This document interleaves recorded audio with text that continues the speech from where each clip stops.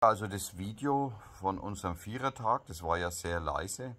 Ich habe das nochmal durch mein Videoprogramm, also durch das, durch das Schneidprogramm laufen lassen. Jetzt ist es eigentlich relativ äh, normal, würde ich sagen. Naja, ich äh, habe es halt aus dem Grund jetzt nochmal hochgeladen.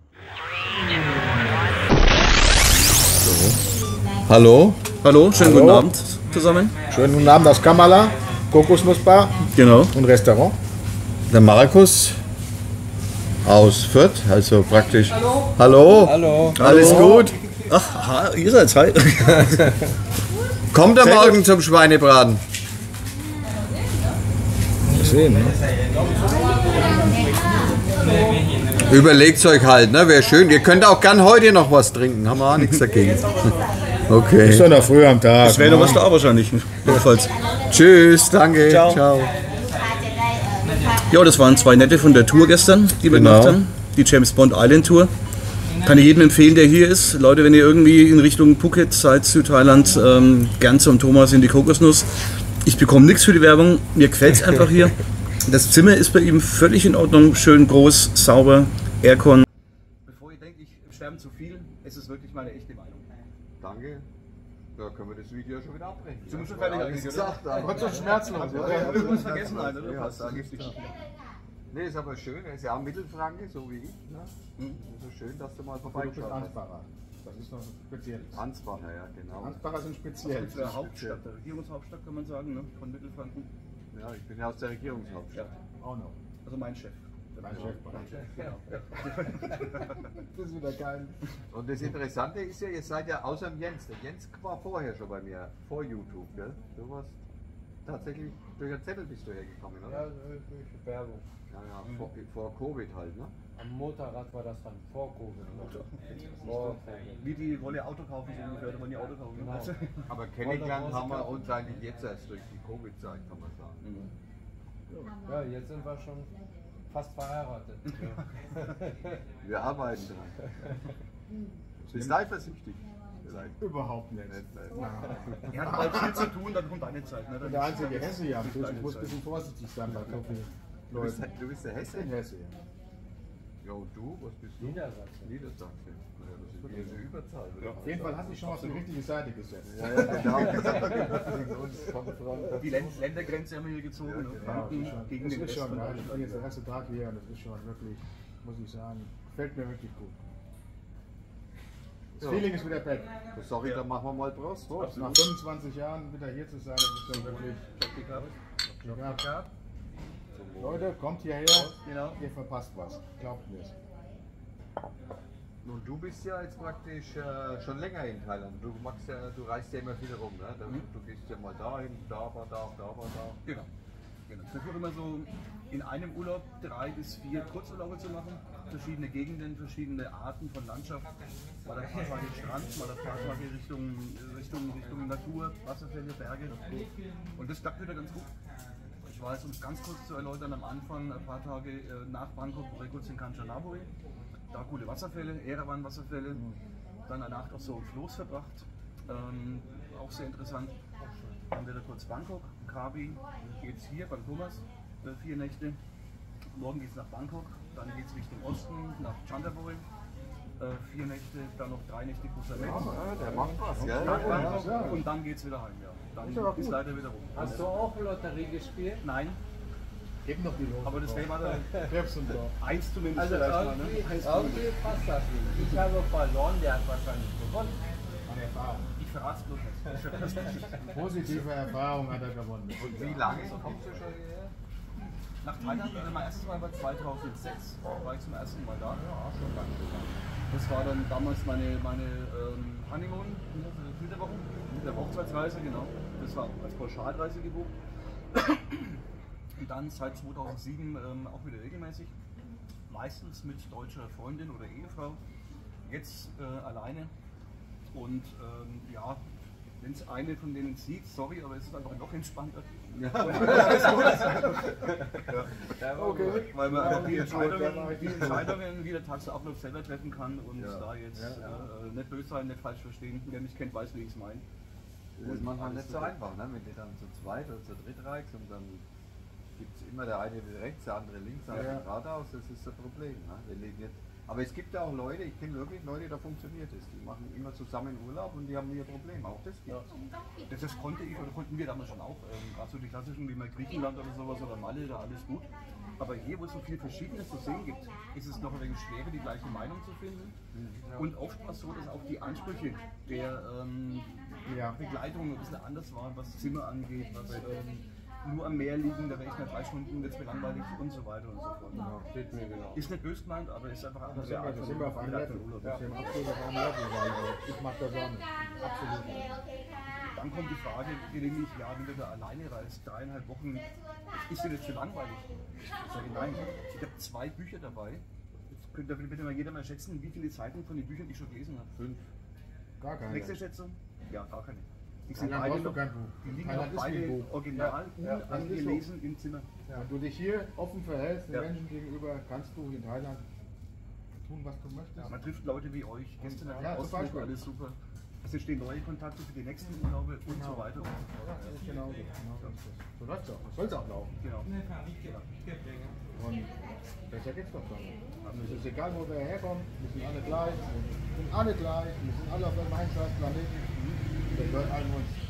So schaut's aus. Da Ja, wird ja. sie wollen. Fertig. Schade ist ja, dass es immer noch diese Grenzen gibt, ne, wenn man sich das überlegt. Ja. Also, dass du dich eigentlich gar nicht frei bewegen kannst. So richtig. Außer du hast halt richtig Kohle, dann geht es wahrscheinlich schon wieder Elon Musk.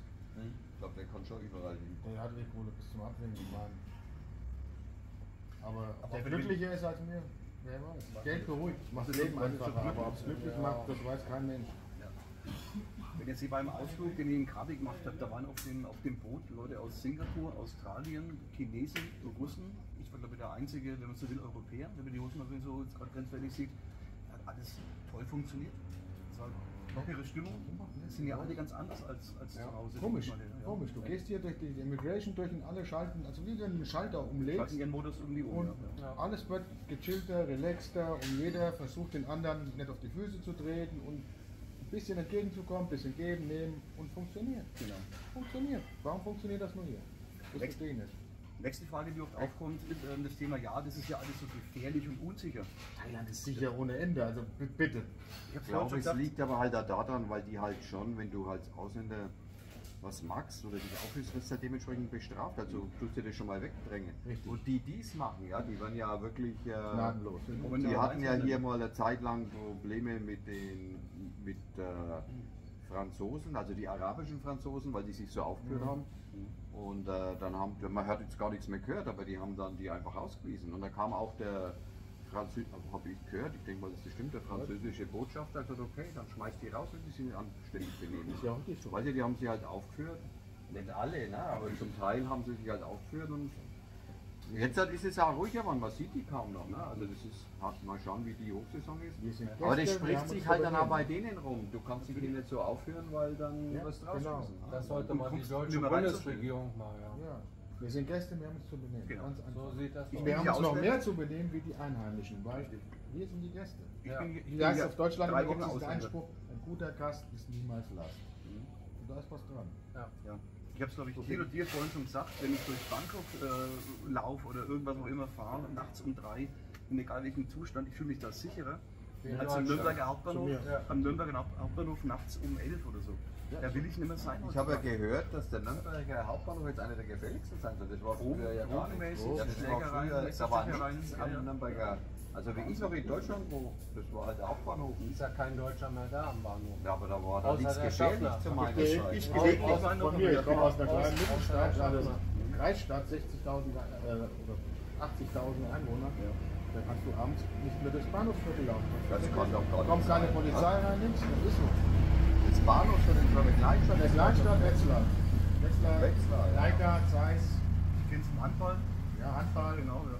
Und da kannst du am Bahnhof abends kannst du dann nicht mehr, also als Frau schon mal gerade gar nicht. Und das kannst du nicht sein. Das ist ja Das Wahnsinn. ist doch unser Land. Da ist das wirklich so. Das ist so, nicht Thomas, das ist so. Das ist wirklich so. Ich habe es mit eigenen Augen gesehen. Und ich habe von vielen Leuten schon gehört, da brauchst du nicht mehr hingehen. Das ist in Und dass da irgendwo dann irgendwelche Übergriffe stattgefunden haben und natürlich auch hier Schiebereien. Das ist schon arm. In jedem Bundesland. Das stimmt. Alles dasselbe. Schöne Grüße an die Regierung. Jawohl, Also das ist traurig, Olaf, ich kann es nicht so. glauben, dass das so ist. Also für mich hört sich das an wie, ich bin Schmeiß ja das schon alle raus und 26 wenn Jahre das weg. fertig ist, ist mir auch scheißegal. Und jetzt Aber jetzt ich, hörst du ja äh, Bayern, ähm, Hessen. Hessen und, und Niedersachsen. Niedersachsen. Niedersachsen, ja. Ist das überall ist so schlimmer wie in Bayern oder was? Überall, es ist überall so. Überall Es ist so. überall so, ja. Außer in den östlichen Ländern. Die Also ich greifen langsam so, fangen an, lang, langsam an durchzugreifen. Weil da hat es auch schwer überhand genommen, aber die Sachsen fangen jetzt schon langsam an, da Feuer zu machen. Kein Geld mehr, die wollen das jetzt nur noch mit irgendwelchen Wertmarken oder Lebensmitteln Ja, machen. dürfen die das dann? Das haben Ja, schon sie versuchen, sie Das versuchen es. haben sie versucht und schon wieder gekippt, weil, Ja. weil das war auch wieder nicht. Komischerweise nach dem Zweiten Weltkrieg ging das alles Jetzt geht's nicht. und jetzt geht es auf einmal gar nicht mehr. Ne? Weil Brauchen wir nicht abschweifen. Ja, ja. es- Lass Naja, uns über Thailand lass uns das über was schön. Schönes Genau, reden. über Das Thailand, reden wir ja über Thailand. Ja, reden wir über Thailand und ich glaube das jetzt einfach mal alles nicht, weil ich bin schon so lange da, aber wie gesagt, die stimmen nicht, was ihr da erzählt. Das stimmt, glaub Wir ich. schicken immer Videos oder, oder Zeitungsberichte. Ja, oder ich kriege das ja einmal mit, Das aber ist ich konnte es weil manchmal gar nicht glauben. Man kann es ja weil das- nachvollziehen, was Es kommt mir vor, als wie, Verstehen als kann wenn es ein Witz wäre. Das Verstehen ist kann ein schlechter Witz. Das ist mehr als ein schlechter Witz. Das Problem ist halt, dass der Witz, der Witz wahr ist. ja, das, das stimmt. Und ich Leider. meine, es ist doch auch so, wenn einer in dein Land kommt, dann muss er sich doch ordentlich benehmen. Und wenn er sich nicht benimmt, dann Genau schmeißt ihn raus. Machen ja die Thais auch so. Ja, Und darum ist es hier auch so friedlich, weil die Leute, so, hat sich rumgesprochen halt Mir irgendwie. gefällt das auch, dass die Leute dann auch knallhart durchgreifen. Die, gerade die Polizei oder wenn wirklich Ja. straffällig wird, da wird durchgegriffen. Ja. Da wird nicht geschoben, oh, da können wir nicht hingehen, die sind Ausländer, das gibt wieder schlechte Presse und da und da stimmt. Nein, da wird gehandelt. Ja. Bei uns wird nicht gehandelt. Das, da wird viel geredet, aber es wird nicht gehandelt. Und das ist das Problem. Die hören nicht auf das Volk. Das ist Ja, das das Problem. Problem. Zurück zu Thailand. Ähm, morgen macht ihr, glaube ich, den Ausflug zum, zum, wie heißt der, Big Buddha? Der früh um 5 Uhr startet. Auch ein Also auch für die. Frühaufsteher unter euch vielleicht potenziellen Gästen, wer früh aufsteht, in der Kühle rauflaufen zum, zum Buddha. Ja, ist schön, vor allem ist ja da kein Verkehr und so. Mhm. Und äh, ja, schöne Sache. Da ist es noch so wie es früher war, ohne Verkehr. Hat ja leider auch sehr viel zugenommen. Ich weiß gar nicht, wie das in der Hochsaison wird. Aber solange du natürlich in deinem Hotel bist und am Strand, das nicht. Ne? Aber wenn du halt rausfährst, dann ist es schon heftig in der Zwischenzeit. Was ich heute gesehen habe, das hat mich echt schon. Ja, und es ist November. Ja gut, du warst ja 26 Jahre nicht mehr da. Ja, aber von dem Verkehr her, das war Ja. schon krass. Also das konnte ich mir. Du kommst morgens um 7 hier an und dann stehst du nur im Stau. Ja. Stehst du im Stau. Ein Minibus nach dem anderen. Ja, irre. Das ist Wahnsinn.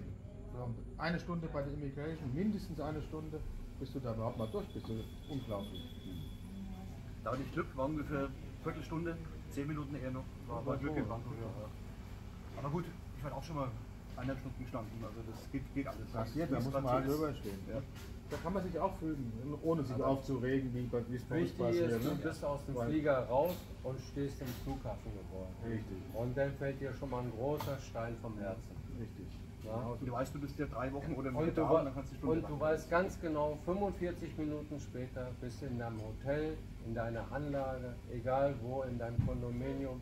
Richtig. Und dann heißt es nur noch duschen und ausruhen, ein schönes, kühles Schangbier trinken Oder Singer. oder Singer Oder oder Neo.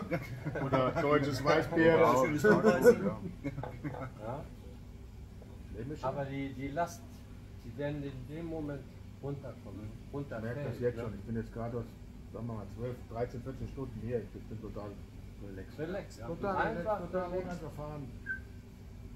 Geht mir auch mittlerweile genauso. Die ersten Wochen war es irgendwie schwierig. Aus Bangkok da in den, in den Lärm, in diesen Trubel da reinzukommen. Äh, Jetzt mittlerweile fühle ich mich in Bangkok schon erholt. Ich komme da an und weiß, ich weiß auch, wie komme ich von A nach B, wie mache ich es am besten, wo ist das Hotel am besten auszuwählen, wenn ich was machen will. Läuft und da weiß ich, es wird entspannt, auch wenn es Chaos ist. ja, weil du auch weißt, weil du auch weißt, du kannst jederzeit dich in ein Taxi oder einen Bus setzen und bist Ja. irgendwo anders dann. Und selbst mit der, wenn du mit der. U-Bahn oder was fährst, oder auch, mit den ja. Skyline, die helfen dir ja. Die haben ja wirklich noch Leute, Ja. die dir wirklich das erklären, wie du da zurechtkommst, wenn du dich nicht auskennst. Mach das mal, in vielen Ländern gibt es ja gar nicht. Da du letztes da Jahr- und komm, ja. war doch wunderbar, die haben uns doch Letztes Jahr- wunderbar. Wir haben uns schön durchgeführt. Ja, das habe ich gesehen alles. in dem Video, das war Ja, sehr also interessant das für war super. Weil ich habe das gar nicht so gekannt. Das gab es ja damals, wo das letzte Mal da war, gab es das noch gar nicht. Diese ganzen U-Bahn, Bahnverbindungen. Das Ja, gab ja, das ist überhaupt ja heute nicht. alles höchst Wahnsinn. modern, ne? Ja, das gab's nicht. Taxi, Fertig. Da gab's ja. damals gab es den neuen Flughafen noch nicht. Da war doch der alte Don Juan Flughafen, der mir persönlich viel, viel besser Wo das gefallen. Hofbräuhaus drin war, kannst du dich noch erinnern? Da war doch so ein Hofbräuhaus Ja. drin. Das war geil. Kommst du in, in den Flughafen an, da steht da, ich glaube, was war Hofbräu, oder? oder was? Irgendwas war es, auf jeden Fall. Sehr deutsch sehr, sehr gut deutsch. Schwarz, der Schwarzwaldstümpel war in Frankfurt. Aber so ähnlich so. Mhm. Bayerisch. Das war geil. Das war schon, war schon Da geil. hatte ich mit einem Kollegen gesessen, haben wir bald den Flieger verpasst. Kommst du in das Bangkok an und dann hast du da Hofbräu im Flughafen. Das war ja ein riesiges Ding damals. Ja, Mal modern. Ähm, es gibt da in dem Skytrain keinen einzigen Schwarzfahrer. Da kommt keiner rein ohne Ticket. Du gehst rein mit deinem, mit deinem, mit deinem Pass, mit deinem, mit deinem Chip oder was Chip oder irgendwas, genau. Das Schöne Du ist, wenn kommst der, nicht mehr raus, ohne zu bezahlen, wenn du zu wenig drauf hast. Es gibt wenn, keinen der, Schwarzfahrer. wenn der Skytrain im Flughafengebäude einfährt Mhm. und alle Passagiere steigen aus, dann wird der Zug erstmal komplett einmal durchgereinigt, bevor die neuen Passagiere einsteigen. Mhm, okay. Ja, haben wir erlebt. Okay. Es kommt keiner rein, dann gehen die einmal komplett durch alle Abteile durch. Mhm. Es wird schön sauber gemacht. Guck mal an. Das ist Ein paar Minuten Service. später gehen die Türen Bei auf. uns und ist alles rein. leider ja auch. Brauchen wir nicht drüber reden. Ja, da kann man vollgekotzte U-Bahn, S-Bahn, kann man einsteigen und so weiter. Das ist alles spannend, ja. Nee, das war schon schön letztes Jahr. Und auch günstig. Kostet ja fast nichts. Ja. Für uns zumindest, der, der Skytrain. Ja. Vom Flughafen, wenn es reinfährst, sind es glaube ich 40, 50 Watt. Zu, dem, zu der, ähm, wie heißt Auch das? die Taxifahrten Firefly. sehr günstig. In Bangkok. Alles günstig. Sehr günstig. Gar nicht zu vergleichen jetzt mit Phuket, wenn ihr jetzt Nee, ein paar. Kilometer fahren willst. Ich weiß nicht, was die hier für Preise aufrufen mittlerweile. Das kostet Taxi von Passau hierher. Ja, ja 200, 300, 250 so, das geht ja. Das. Wenn ihr jetzt von Volt nimmst, wenn ihr jetzt ein normales Taxi, dann bist du mit 500 Ja, die machen jetzt aber auch schon 300, weil Wenn ich den Also Teil, letztes, ja, ja. letztes Jahr waren für 500 Ich sag auch immer, es ist auch eine gewisse Verhandlungssache. Wenn du den ein bisschen vor, je nachdem, was es für ein Typ ist, musst du abchecken, da kannst du schon was machen, preislich, mit Sicherheit. Und wenn der merkt, dass du vielleicht noch ein bisschen Teil sprichst, dann ist er schon vorsichtiger. Weil der weiß, du bist nicht das erste Mal, wenn du sprichst. Der macht viel aus. Ja, ja, klar. Auf Straßen, glaube ich, helfen schon ganz gut, dass die das Gefühl kriegen, du kennst dich ein bisschen aus, du musst das Ja, hilft immer. Erstens auch als Höflichkeit. Ich kann Fall. jetzt, ich kann nicht wirklich Teil, um Gottes Willen, ich kann ein bisschen Essen Auch bestellen, nicht. ich kann noch. mit anderen begrüßen und so weiter und das war's. Ist, schon mal, ist doch schon mal ein Anfang, ist doch schon mal was Gutes. Ich Ich auch bald wieder Feierabend, aber, aber das Zeichen, dass man es gibt, man, man will, man möchte. Und man das wird auch hier honoriert. Die, die Menschen merken das. Die merken, du gibst dir Mühe, wir kommen dir auch entgegen. Wir machen es dir leicht. Ganz einfach. Also kann man es nicht sagen. Weil da- Das heißt, machen es einem eigentlich wirklich leicht. Weil daheim das Gemotze, wenn man dann äh, sich beschwert, dass die im Hotel in Spanien kein Deutsch sprechen oder in Griechenland, wo ich sage, Leute, ihr seid in ein anderes Land. Ja, Die haben doch, dann bleibt doch daheim. Ich gehe da zum Griechen zum Essen oder zum, sehe Spanier. ich genauso. Da sind wir voll einer Meinung. Und dann mit solchen Leuten will ich wieder dann gar nicht über das Thema Urlaub reden, weil das ist mir dann einfach zu anstrengend, weil ich möchte nicht. Das ist auch nicht Das ist meine Lebenszeit zu schade, ganz ehrlich. Weil wenn ich es daheim, im Urlaub wir so haben möchte wie Und die daheim, dann bleibe ich daheim. Richtig. Ich brauche jetzt hier nicht unbedingt, wie ich schon sehe, wenn sie die Mallorca immer die Liegen da mit diesen Handtüchern belegt haben, was ganz modern war. Das ist ja natürlich. Ja, ist ja immer noch so. Ist das immer, ist ja auch so. Ja, aber die tun, das im Sunprime ja, auch ist so? verboten halt. Ne? Gut, Die tun dann die halt. Ist, doch- Ja. schon, ist doch schon mal ein Anfang. Machen aber nicht nur die Deutschen, das Nee, machen ja alle. Engländer, alle Ja, aber- Schlägereien um die Liegen früher. Ja, das ist völlig Wahnsinn, oder? Völligen Vollpatsche. Oder? Wie soll man dann Frieden schaffen auf der Welt? wenn es da schon den, um Hier, Poolliga geht. hier funktioniert es anscheinend komischerweise. Hier Ja, das ist völlig krank. Naja, aber die tun dann schon ihre Ligen, das ist hier schon Das so. ist immer noch Verteidigung. Ja, am Strand bezahlst du dich, wenn du dir halt bezahlst, dann legst du Hand auf den fertig. Anderes Thema. Ja, ja. Am Ja, Pool ja. weiß ich nicht, wie Gut, wenn es aber- bezahlt ist, was anderes dann. Aber privat im Hotel, und wo du fest gebucht hast. Das hat aber nichts mehr mit Urlaub zu tun. Nee, Wenn ich um 5 Uhr morgens aufstehen muss, vor, vor, vor dem Frühstück, gehe nach unten, schmeiß mein Handtuch auf der Liege, gehe wieder nach oben, leg mich noch mal eine Stunde schlafen. Und dann tut irgendein Idiot ein Handtuch weg. Also, das, das hat nichts mehr mit Urlaub zu Kommt tun. so ein Baran angegrillt, hat ein Flatter mit dem Handtuch. Stell dir das mal vor, bildlich. ja, das ist. Ich war auch gestern sehr überrascht, Thomas, in, bei dem letzten Stop bei der Tour, bei der Höhle, wo wir da reinlaufen mit den Taschenlampen, dass ich in dieser Lagune, wie man das nennt, ähm, 4, 5G-Empfang hatte. Also mitten im Nichts auf dem Wasser, durch die Höhle durchlaufen, du stehst im Netz. Dauer 4, 4 sowas. Normalerweise. Auch im Dschungel hast du Ich habe da von da zwei Bilder live geschickt. Ja, ja. In, der, in, der, in der letzten Höhle. Ja? In der Höhle. Also, aber das ist neu, da müssen sie ja neue Antenne angeben. Irgendwas, ja. von AIS. AES die Tourist SIM-Karte habe ich Ja, das ist schon krass. Für vier Wochen. Ja. Ja, habe ich auch genommen. Wenn ich mir daheim mit meinem Handy irgendwas mache und gehe nur in die, in, die, in die Küche vor zum Beispiel. Oder in Keller, Empfang. wird schon schwierig. Ja. Ne? Da raus Kenn und ich, schon und alles. kenn ja. ich. Da muss Also, ich zwei, drei Meter auf den Balkon gehen oder so auf Ja. meiner Terrasse, dann, damit ich wieder Empfang habe. Das darfst du gar keiner erzählen, sowas. Auch wieder schöne Grüße an die Regierung. Ja, die kriegen das schon noch hin. Ja, wenn wir noch. Wir schaffen das schon. Wir, wir schaffen, Wir schaffen das. das ja. Wir schaffen das. 2065. Ja, genau, das reicht ja. Da sind wir Wir nicht mehr schaffen da. das. Da sind wir nicht mehr da. Da kann es uns egal sein. Du vielleicht noch. Du bist vielleicht noch da. Ja, das könnte eng werden. Ich An, glaube nicht. anstatt mal von anderen Ländern was abzugucken, was gut ist und das mal zu übernehmen, nein, wir entwickeln uns in die Steinzeit zurück. Ja. Wirklich. Ja, so ist es. Schauen wir mal, wie sich Wir weiterentwickelt. haben das Privileg, dass wir hier sein dürfen. Das ist schon mal Das sehr, ist sehr, auch viel, genau, das ist sehr viel wert. Für mich ist das Privileg. Das kann nicht jeder. Ja. Das Und- muss man sich auch überlegen. Es gibt ja wirklich viele, die Ja. wesentlich ärmer sind. Wir können ja von, wir können ja wirklich noch zu den Reichen alle, wie wir hier sitzen. ne? Sagen wir mal 20, so. 80 Prozent, glaube der Menschheit ist wesentlich ärmer. Das ist ja ein Zustand, der eigentlich auch nicht mehr tragbar ist. Luft bleibt bei fließendem. Normalerweise nicht. Das Kapital, was da ist, in diesen ganzen großen Unternehmen oder in den ganzen Finanzbereichen, das würde locker reichen, um alle zu versorgen. Locker. Oder, wie du gesagt hast, mit dem ganzen Umweltschutz, mit dem Plastikscheiß da, genau dasselbe. Alles nur. Das finde ich hier Thema. Also, es ist hier schon hier mega viel Plastik unterwegs. Ne? Das ist schon der Wenn du hier, bei uns ist ja nicht Aber das besser. kannst du ja nur von oben verdienen. Ich kaufe jetzt zum Beispiel nur noch, wenn ich es kriege, in Glasflaschen, weil ich habe jetzt festgestellt, und hier merkst du es ja auch, nimm mal eine Plastikflasche und du mal jetzt hier irgendwo ins schmeckt Auto und schmeckt nach Plastik. Wenn du die aufmachst, das schmeckt schal, das schmeckt Gerade in der Wärme. Und die Glasflasche nicht.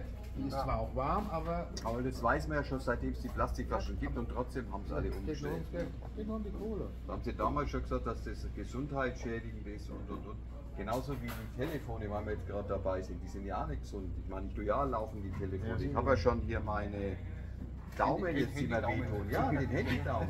Da tut keiner drauf schreiben, pass auf, wenn du das benutzt, so und so. Ne? Ja. Und ich weiß jetzt nicht, ob es, aber ich denke mal schon, weil ich ja so viel mit dem Handy mache, kommt es daher. Ich halte ja immer so. Ne? Das steht da nicht drauf, da müsste auch auf den Verpackung stehen, was da für Nebenwirkungen sind. Und da gibt es ohne Ende Ja, Nebenwirkungen, wenn du das auch noch benutzt. Strahlung, was sie alles sagen. Keiner weiß es genau, keiner sagt was genau. Wem willst du glauben? Wem willst du glauben? Ja, aber das mit meinen Daumen da, also Gut, entweder ist kommen wir jetzt vom Alter oder. Aber das hat mir letztens einer erzählt, der ist äh, tatsächlich im, im, im Pflegebereich tätig. Und der hat mir das gesagt. Hat er gesagt, das kommt vom Handy. Das hat er in letzter Zeit immer öfter, dass Leute da Beschwerden haben. Aber so kannst du immer sagen, Daumen hoch. Ja. Daumen hoch! Daumen Den, hoch! musst du, den musst du dann aber. Geht immer anders. Ne? Ja gut, dann, dann, dann sagen wir mal Daumen hoch. Daumen hoch. Ich hoffe, unser Gespräch hat euch erleuchtet oder erleuchtet euch. Auf die Kokosnuss und auf Thailand vor allem. Ja, genau. Also, Und- kommt hierher nach Kamala. Lasst es euch gut gehen. Hier ist richtig geil. Und Frieden in die Welt. Hoffen wir Genau. mal, dass es bald wieder Frieden gibt, dass die alle mal wieder die Friedenspfeife auspacken. Weil was da gerade abläuft auf der ist Welt. Und alle. Klappstühle einpacken. wieder. Genau. Und Peace. Genau, Peace In und Sinn ein stellt. Friedenswaffen äh, her, keine Kriegswaffen. Dann nehmen wir lieber Bier. Also von dem Gewehr in die Hand nehmen, nehmen wir eine Flasche Bier. Genau. Prost. Bitte abonniert unseren YouTube-Kanal und drückt auf die Glocke und dann verpasst ihr auch nicht mehr. Super, gimme five.